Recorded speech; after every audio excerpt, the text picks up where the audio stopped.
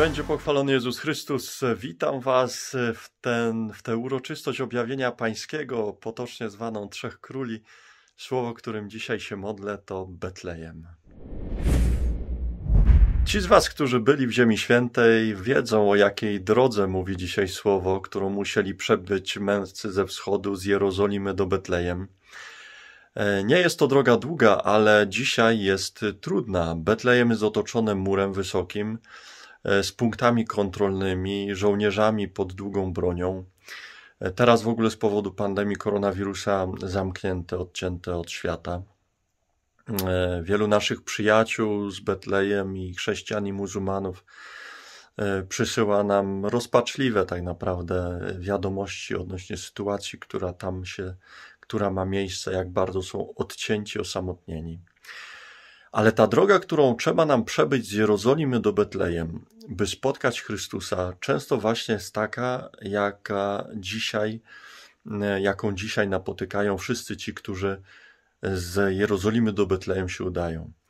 Droga trudna, droga niebezpieczna dla wielu.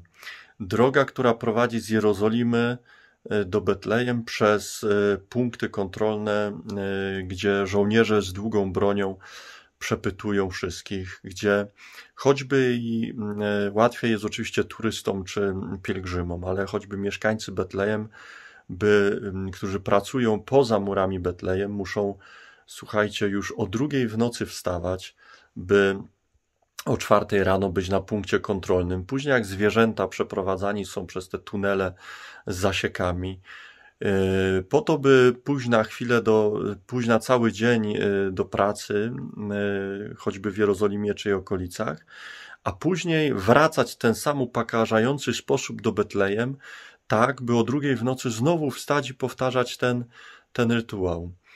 Strasznie ciężka sytuacja, strasznie bolesna sytuacja. By przejść do Betlejem, z Jerozolimy do Betlejem, trzeba przejść tak ciężką drogę dzisiaj. E, I moglibyśmy to śmiało przenieść na doświadczenie duchowe. Kiedy my w życiu duchowym musimy przejść z takiej Jerozolimy do Betlejem, jak trzej królowie, by spotkać Chrystusa, by spotkać Mesjasza. Czasami właśnie jest to tak trudna droga. Czasami jest to tak droga niebezpieczna, jak przeżyli ją, przeszli z powodu e, dociekliwości Heroda właśnie mędrcy ze wschodu, a czasami jest to tak trudna droga, jak przechodzą tę drogę dzisiaj yy, dzisiejsi mieszkańcy Betlejem, którzy choćby chcą z Jerozolimy wrócić do swojego rodzinnego miasta.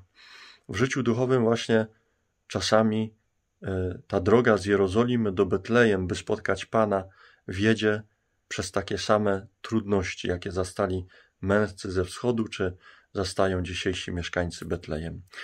Kochani, życzmy sobie dzisiaj, aby dzięki łasce Pana, byśmy mogli tę drogę z Jerozolimy do Betlejem pokonać, byśmy mogli pokonać lęgi strach, byśmy mogli przejść nad upokorzeniami i byśmy mogli z, z, z radością jakąś z jakąś radością spotkać Pana i wyznać w nim właśnie jedynego Pana i Zbawiciela, Króla Wszechświata, razem z dzisiejszymi bohaterami Ewangelii. Niech na tę drogę nas błogosławi szczerze Bóg Wszechmogący, Ojciec i Syn Duch Święty. Amen. Zostańcie z Bogiem. Do zobaczenia jutro.